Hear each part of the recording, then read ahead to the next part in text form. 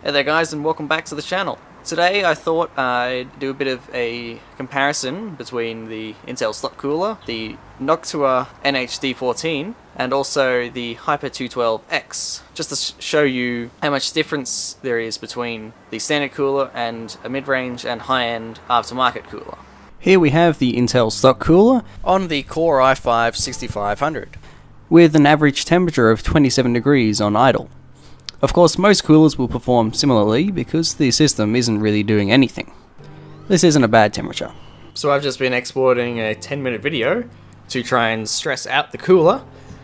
And as we can see over here, uh, temperatures seem to be at between 60 and 68 on average, with the hottest core going fairly hot there, above 70 degrees, 72. Funnily enough, the third core seems to be the coolest, and the second core is the hottest, so I don't quite understand that.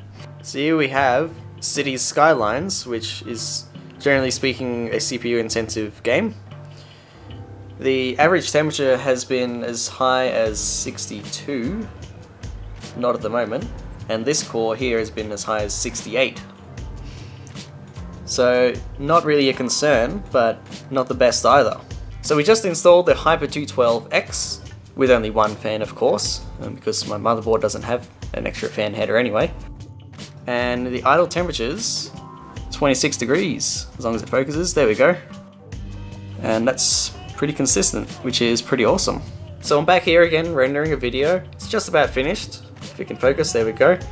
And the temperatures are really amazing compared to the stock cooler. It's hovered between uh, 45 and 50 degrees. That's the first time I saw a 51. So that is quite a large decrease in temperature. Pretty impressive. So here we are in City Skylines again. And uh, as we can see over on this side, the temperatures are an average of about 45. Sometimes they go a little bit higher, sometimes they go a little bit lower, but that's uh, quite good.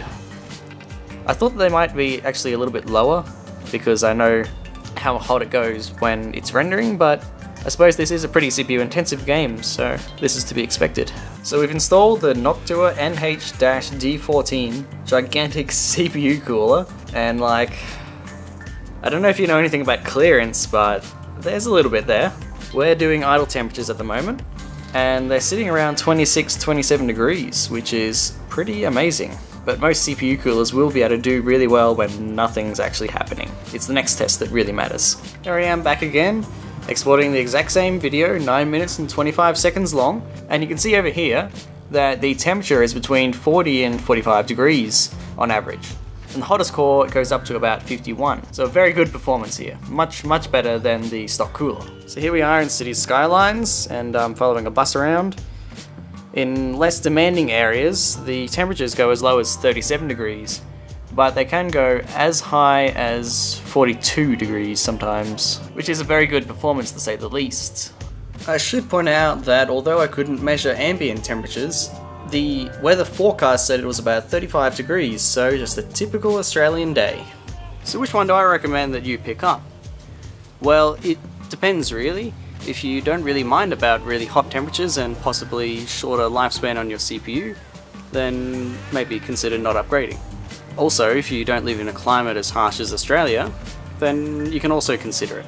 But if you do care, and you do live in some hot place, then an upgrade is fairly inexpensive. I picked up the Cooler Master Hyper 212X for about $45 used on eBay. I also picked up the Noctua NH-D14 used for about $75 on eBay. Considering that at stock fan settings at least, there's only about 5 degrees between the Hyper 212X and the NH-D14, I might recommend the, the Cooler Master Hyper 212X.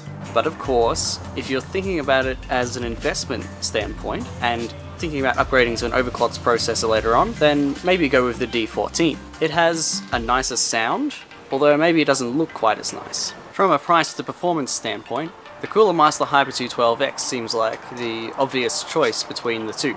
From an aesthetics point of view, the Hyper 212X, I suppose, might look a little bit nicer, especially considering that they don't, you know, use the same color scheme. I would say that I prefer the acoustics of the Noctua NH-D14, It's got a nice hum to it, unlike the Intel stock cooler of course. I suppose it comes down to how much you're willing to spend and on what your RAM selection is. With my standard stick of value RAM, it fit in uh, nicely with some space extra.